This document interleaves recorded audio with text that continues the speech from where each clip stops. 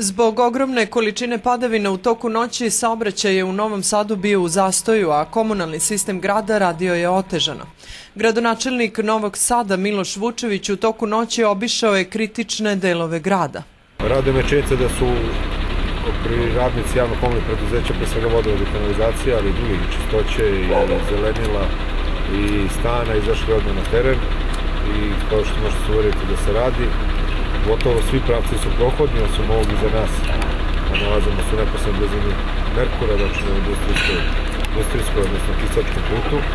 I ovaj put će isto za neki sad od dva vremena biti slobodan, tako da je naš cilj, naš zadatak da do ujutru ceo grad bude dovedeno normalno, funkcionalno stanje i da ujutro ljudi mogu da idu na posao Količina padavina sinoć je duplirana u odnosu na kapacitete za koje je izgrađen gradski vodovod, odnosno atmosferska kanalizacija. To je i osnovni razlog zbog kojeg je došlo do zastoja. Mi sve smo reagovali odgovorno, naravno razumemo i nezadovoljstvo građana kada ne mogu normalno da idu sa obraćanicama, prosto je, su vremenski uslovi bili takvi da, da su doveli do, do ovakve situacije. Na nama je da, na nama je da ispravljamo sve one funkcionalne dostatke u komnom sistemu koje su jasni.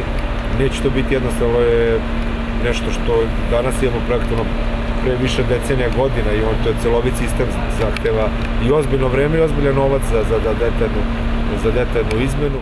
Gradonačelnik najavljuje asfaltiranje ulica u kojima su oštećeni kolovozi i trotoari, a počelo i čišćenje ulica.